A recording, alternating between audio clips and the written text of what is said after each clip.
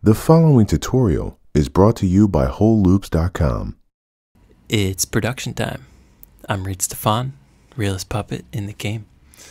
Today we're making a lead out of a vocal sample. I'm going to go through some really quick processing techniques that can turn a sample into a lead very quickly. And I whipped together a little Moombahton beat to demonstrate this, so let's check out the example.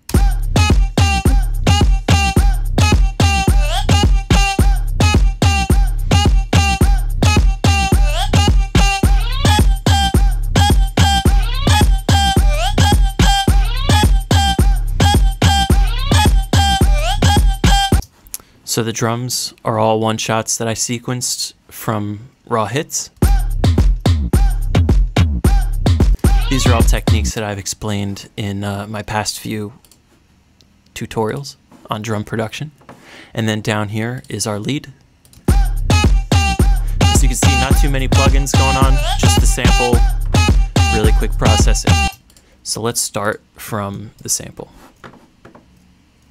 Uh, I got that from Raw Hits, Organic Vocals. It was this number 14 right here. So we're going to double click it. Uh, our E note, which I uh, labeled here, is one, two, three, four steps above C. So we are going to turn down our transpose 4. That way when we play a C on our piano, it'll play a C out of the sampler and we can make sure that we got it right by playing it with an operator. If you just hold command, you can.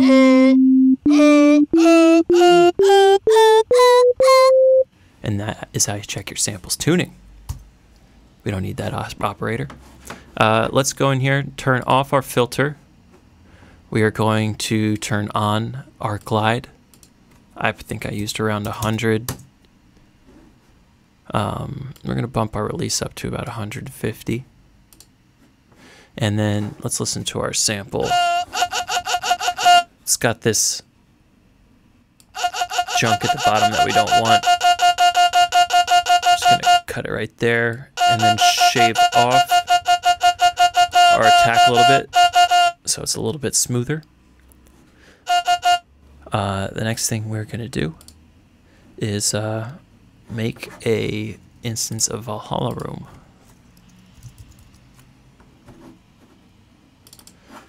Great reverb plugin.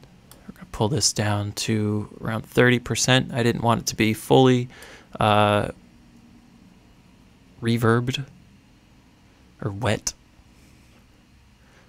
Pull that down so you have a really short reverb tail.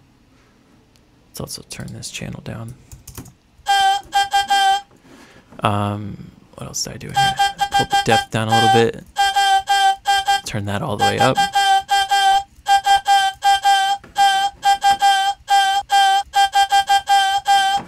Kind of adds almost like a chorusing effect and a little bit of space. Do you produce music and love making hot club bangers? Do you find yourself constantly searching for those crispy snares and percussions? Do you want your beats to make people turn up? Maybe it's time you stepped up your sample pack library. Here at Whole Loops, we've got the product for you. Introducing Raw Hits, our debut sample pack of organically grown drum one shots, loops, effects, vocal samples, and all the production essentials you'll need to add some organic flavor to your secret sauce. Raw Hits is available now only at WholeLoops.com. To the sample. Let's open up OTT. We're going to start out by turning this down a whole lot because we're about to turn it up a lot with these bands. We're going to start out by getting rid of all the low end. You can just grab it with your mouse will turn into the bracket, pull it down. Let's turn the mids all the way up and the highs all the way up. And uh, let's actually turn the highs up a little bit more by giving them a little bit more uh, attack here. And let's put this down to 75. Oops. Let's mute this and pull our MIDI down so we can hear what we got so far. Actually, we're going to turn on Warp Complex Pro.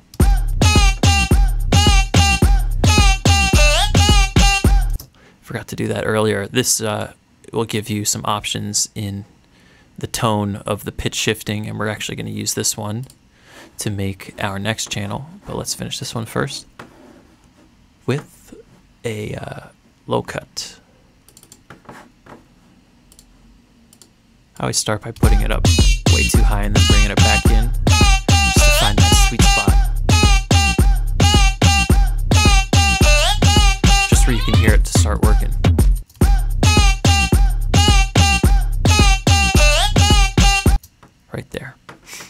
Next thing we're going to add is some sidechain compression. We're going to sidechain this to the top kick.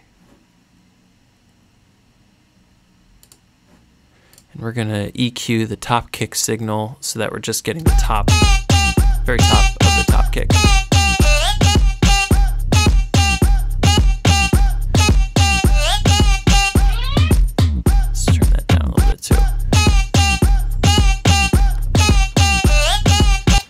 Last thing we're going to add is a little bit more stereo width to this. I like using the Dimension Expander by Xfer. It's another free one. I made sure to put it before the sidechain compression because I really want this to clamp down on the entire signal.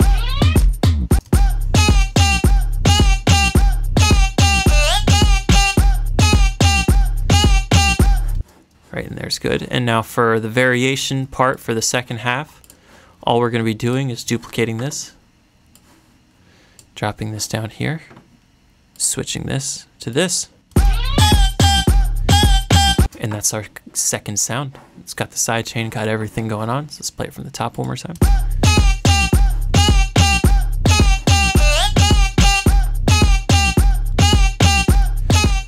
Yeah, so there you have it. This is such a quick and effective way to audition samples as leads. Most of the music that I make is out of samples, so I end up going to this a lot. I hope you find this as useful as I do. If you like this tutorial, leave me a comment telling me why. If you would like me to make a tutorial on something else, leave a comment telling me why. Thank you for subscribing. Tutorial Tuesdays can be a very real thing. I will catch you guys next Tuesday.